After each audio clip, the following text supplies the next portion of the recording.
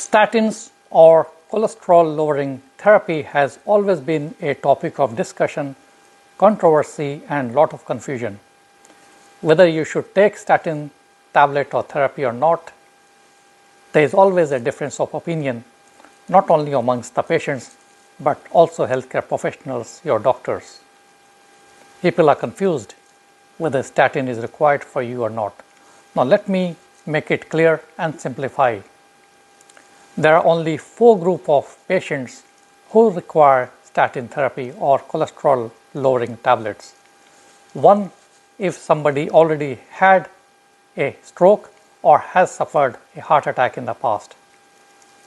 Number two, those patients who have very high levels of bad cholesterol or LDL cholesterol more than 199 milligram per deciliter or more than 4.9 millimole per liter of LDL cholesterol.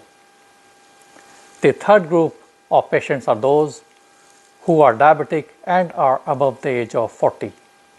And the fourth group of patients are those who have high risk of developing heart attack or stroke in the future.